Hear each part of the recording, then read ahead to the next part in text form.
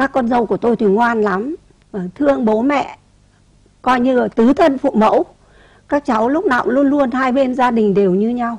Thế còn con trai thì bao giờ tôi cũng phải dạy các cháu là phải thương yêu vợ.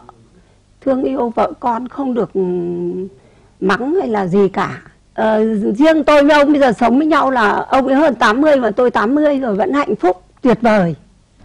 Chẳng cứ phải dịp lễ Tết hay ngày rằm, mùng 1, hễ có thời gian, ông Khôi bà Phong lại hẹn các con các cháu đi thăm thú cảnh sắc đó đây, đặc biệt là ra lễ Phật ở ngôi chùa Kim Liên gần nhà.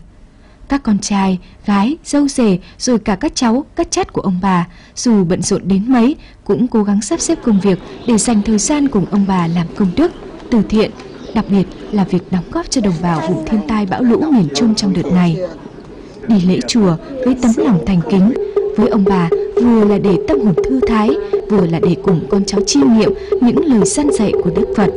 Sống là người có ích cho gia đình và xã hội. Trong khi đi lễ thì cụ cũng dân dạy dân chỉ bảo rất nhiều điều. À, đi lễ chùa để làm phúc cho các con các cháu sau này. Thế nên là gia đình tôi cũng lúc nào cũng được hòa thuận. À, dạ vâng thưa cụ, à, năm nay thì à, cụ đã bước sang ngưỡng tuổi bát thập, à, vậy xin à, cụ có thể à, à, nhắn gửi một vài những à, kinh nghiệm tới các vị chủ nhân của các gia đình trẻ ở Hà Nội hiện nay ạ. hiện nay là cái kinh tế thị trường uh, cũng mãi uh, kiếm tiền rồi uh, nhưng mà dù bận rộn đến đâu tôi cũng muốn nhắn gửi rằng phải quan tâm đến việc gia đình việc nuôi dạy con cái và phải luôn luôn uh, dạy các cháu để cho nó thành người ngoan và nó nó là một cái thành viên của gia đình mình. Và sau này nó là thành viên của xã hội.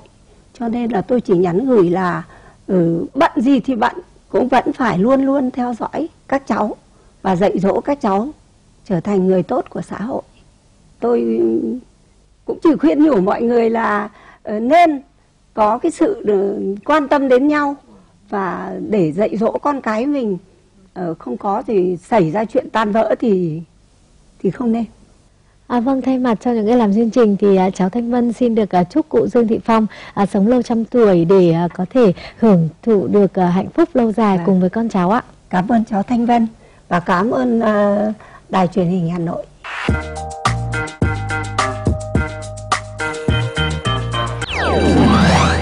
Quán ăn Nga giấc mơ nhỏ Hân hạnh đồng tài trợ chương trình này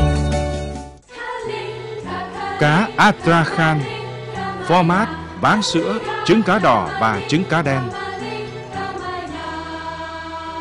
Nước cơ vát, các loại đồ uống và hoa quả sạch được nhập khẩu từ nước Nga. Bạn hoàn toàn có thể tự tay tạo nên hương vị Nga đặc sắc và quyến rũ tại mỗi căn bếp gia đình.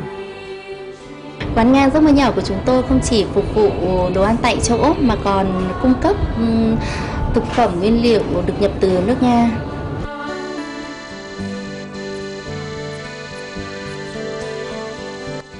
Nhà hàng Nga, giấc mơ nhỏ hân hạnh được phục vụ.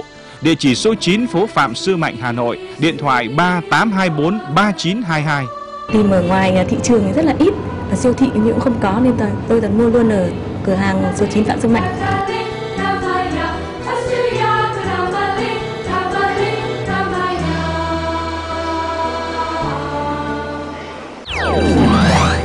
Quán ăn Nga giấc mơ nhỏ Hân hạnh đồng tài trợ chương trình này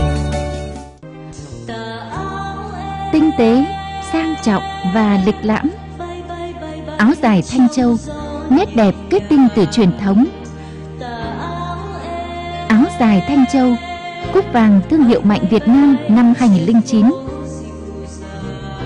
Áo dài Thanh Châu, địa chỉ 26A Mai Hắc Đế, Hà Nội, điện thoại 043 943 6666.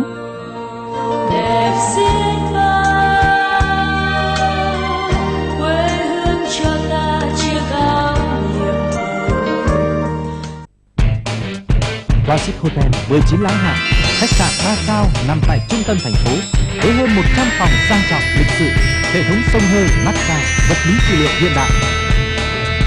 Classic Hotel luôn tự hào vì hai nhà hàng Trung Quốc và nhà hàng Nhật Bản có đội ngũ quản lý nhân viên chuyên nghiệp, giàu kinh nghiệm với các món ăn Âu, Á, Nhật truyền thống chắc chắn sẽ làm hài lòng quý khách.